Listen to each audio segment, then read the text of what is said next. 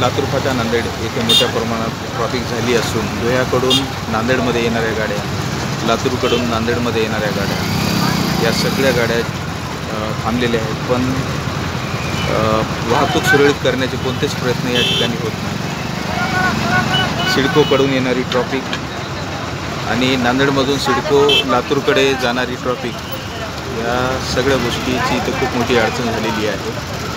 ज्या ठिकाणी शासकीय दवाखान्याची वाहतूक किंवा ॲम्ब्युलन्स ह्या वेळोवेळी येत असतात इकडे इमर्जन्सीमध्ये पण इथला मेन रस्ता हा पूर्णतः ट्रॉफिकने भरून गेलेला आहे.